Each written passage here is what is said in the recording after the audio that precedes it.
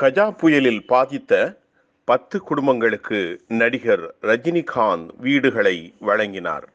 ரெண்டாயிரத்தி பதினெட்டாம் ஆண்டு நவம்பர் மாதம் தமிழ்நாட்டில் தஞ்சாவூர் கோடியக்கரை தலைஞாயிறு நாகப்பட்டினம் வேதாரண்யம் உள்ளிட்ட பகுதிகளை கஜ புயல் மிக கடுமையாக தாக்கியது. இந்த தாக்குதலில் நாடு முழுவதும் கடும் பதட்டமும் அச்சமும் பீதியும் அம்மக்களின் மீது பரிதாப உணர்வும் ஏற்பட்டது. இதில் பல பகுதிகளில் மரங்கள் அடியோடு சாய்ந்தன.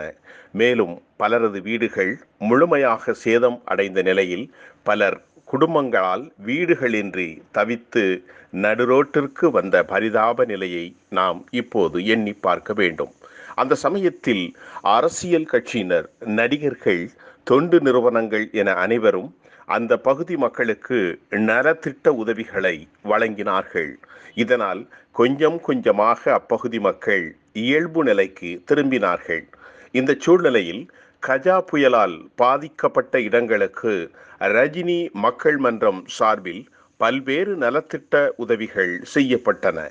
இதற்காக நடிகர் ரஜினிகாந்த் வேண்டுகோள் விடுவித்திருந்தார். இதனால் இதர ஊர்களிலிருந்து பல பொருட்களும் பண உதவிகளும் வந்து சேர்ந்தன. இதனை வைத்துக்கொண்டு ஒவ்வொரு வீட்டுக்கும் தேவையான அடிப்படை உதவிகள் செய்யப்பட்டன. இதனை தொடர்ந்த மிகவும் பாதிக்கப்பட்ட அதே சமயத்தில் ஏழ்மையான குடும்பத்தினரை தேர்வு செய்தது நடிகர் ரஜினிகாந்தின் மக்கள் மன்றம். அதில் பத்து குடும்பங்களுக்கு தனது சொந்த செலவில் வீடுகளை கட்டி கொடுக்க முடிவு செய்தார் நடிகர் ரஜினிகாந்த். இதற்கான பூமி பூஜை மார்ச் மாதத்தில் போடப்பட்டது. நாகப்பட்டினம் ரஜினி மக்கள் மன்ற செயலாளரான டி. எல். ராஜேஸ்வரன் இதற்கான பணிகளை முன்னின்று கவனித்து வந்தார். இந்த சூழ்நிலையில் தற்போது வீடு கட்டும் பணிகள் அனைத்தும் முடிவடைந்த காரணத்தினால் சம்பந்தப்பட்ட பத்து குடும்பத்தினரிடம் வீடுகளை அதாவது வீட்டு பொறுப்பான சாவிகளை நடிகர் ரஜினிகாந்த் வழங்கினார். இதற்காக பத்து குடும்பத்தினரும் நடிகர் ரஜினிகாந்தின் சென்னை வீட்டிற்கு வரவழைக்கப்பட்டார்கள். அவர்களிடம் கஜா புயல் பாதிப்பிலிருந்து நீங்கள் மீண்டு வந்து வந்தீர்களா?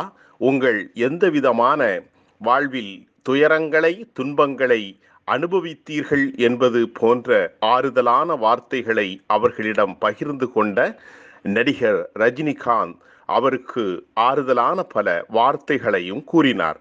பின்பு நடிகர் ரஜினிகாந்த் வீடுகளுக்கான குத்துவிளக்கு பூஜை பொருட்கள் அடங்கிய பையுடன் சாவியையும் கொடுத்தார்.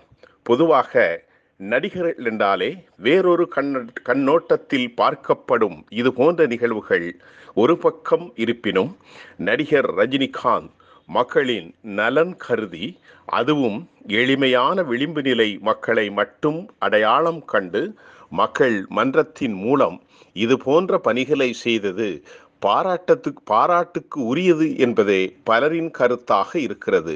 இந்த பா இது மாதிரி தொடர் நடவடிக்கைகளை அவர் ஈடுபட்டு வரும் சூழ்நிலையில் தமிழ்நாட்டில் நடிகர் ரஜினிகாந்தின் ரசிகர் மன்றங்களும் கூட இது போன்ற பல விடயங்களை முன்னெடுத்து வருவதையும் அவர் அரசியலுக்கு வரும் சூழ்நிலையில் தமிழக மக்களால் உன்னிப்பாக கவனிக்கப்படுகிறது என்பதே நமது பார்வையாகும். ஓ டுவெண்ட்டி ஃபோர் செவன் செய்தி களத்திலிருந்து